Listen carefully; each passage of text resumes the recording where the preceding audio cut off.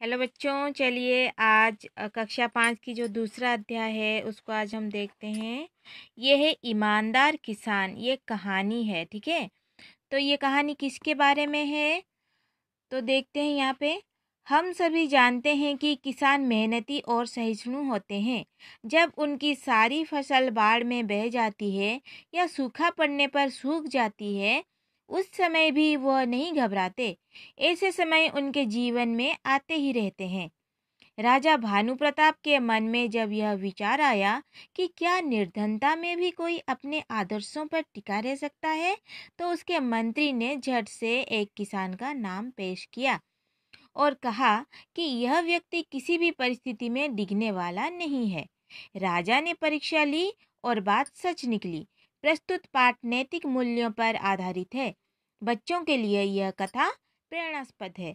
तो बच्चों, ये कहानी एक किसान की है जो कि बहुत ही ज़्यादा ईमानदार था। वो गरीब था, लेकिन हमेशा ईमानदारी से काम करता था। तो चलिए विषय को आरंभ करने से पहले हम शब्द भंडार में से शब्द देख लेते हैं। यह आपके शब्द हैं और अर्थ के साथ। न्याय प्रिय मतलब न्याय को पसंद करने वाला। निर्धनता, गरीबी। आदर्श, अच्छे सिद्धांत। परीक्षा, जाँच। प्रशंसक, प्रशंसा या तारीफ़ करने वाला। व्यतीत, बीतना। विचारमग्न, सोचने में लीन। गिन्निया, सोने के सिक्के। स्वर्ण कलश, सोने का घड़ा। इनाम, पुरस्कार। मिसाल, उदाहरण, नमूना।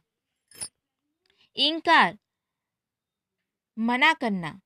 प्रजापालक प्रजा या जनता का पालन करने वाला, भौचक्का रह गया, आश्चर्यचकित रह जाना, हैरान होना। घर, कर जाना, मन में आ जाना, मन में बैठ जाना। ठीक है? तो चलिए विषय पे चलते हैं, क्या है इसमें? ध्यान से सुनिए और आप भी मेरे साथ पढ़िए, ठीक है? तो बहुत पुराने समय की बात है। एक रियासत थी राजगढ़। वहाँ के राजा थे भानु प्रताप सिंह। वे न्यायप्रिय एवं प्रजापालक थे। उनके राज्य में एक किसान रहता था। उसका नाम था राम प्रकाश।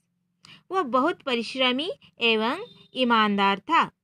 किसी भी वस्तु के लिए उसके मन में भूल से भी लोभ नहीं आता था। पूरे गाँव में उसके आदर्शों का डंका बजता था।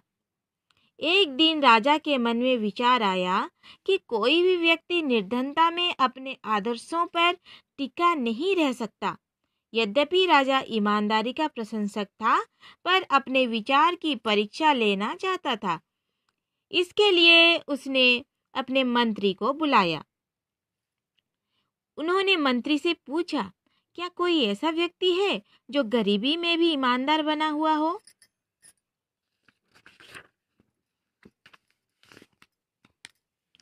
मंत्री ने बताया राम प्रकाश ईमानदारी की मिसाल है।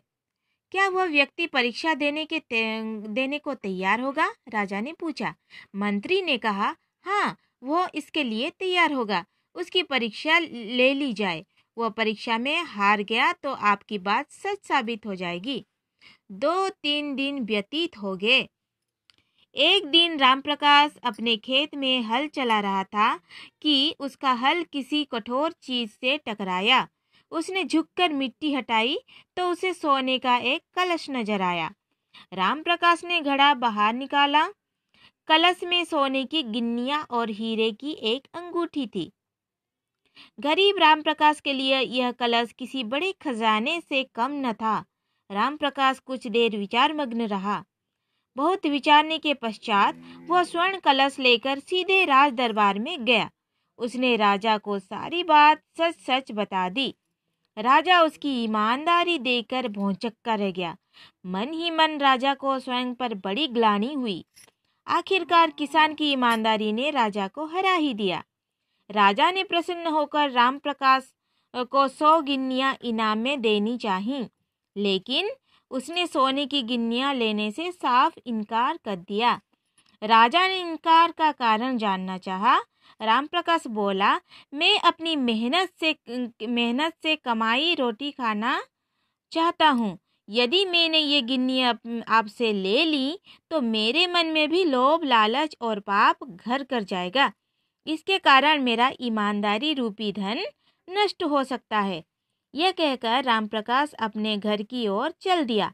राजा प्रशंसा भरी नज़रों से कभी घर की ओर जाते रामप्रकाश को देख रहा था तो कभी मंत्री को। तो बच्चों, ये एक ईमानदार किसान की कहानी है, जिसकी ईमानदारी की परीक्षा खुद राजा ने ली और उन्हें ये पता चला कि वो बहुत ही ज़्यादा ईमानदार था और जो कि खजाना हाथ लगने पर भी उसने, उसे ना रखते हुए राजा को वापस करने की उसने सोची किसान ने, ठीक है? क्यों? क्योंकि वो अपनी ईमानदारी रूपक धन को वो नष्ट नहीं करना चाहता था। इसीलिए। तो बच्चों, इस कहानी को आप भी पढ़िए बार बार पढ़िए और कहानी को समझ लीजिए। जो शब्द यहाँ पे हैं, उनको भी, उनके अर्थ के साथ पढ़िए और यहाँ पर बहुत सारे, जैसे कि गिन्नियाँ हैं और बहुत सारे शब्द ऐसे हैं। ग्लानी है और व्यतीत है, इस तरह के कुछ शब्द हैं। आप उनको बार बार पढ़िए, ठीक है? और जैसे पढ़िए कि आपके मुँह से वो अच्छे से आप उसे बोल पाएँ, ठीक है? तो आप इस अध्याय को ठीक से पढ़िए और आगे की वीडियो में हम इसके प्रश्न उत्तर पर चलेंगे। Thank you.